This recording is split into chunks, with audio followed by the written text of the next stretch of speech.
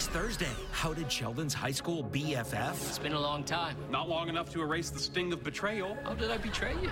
Do You believe this guy? Become number one on his enemies list. So, he was your best friend growing up? Yes. Were there no other kids in Texas? Find out on a new Big Bang Theory next Thursday at 8, 7 Central.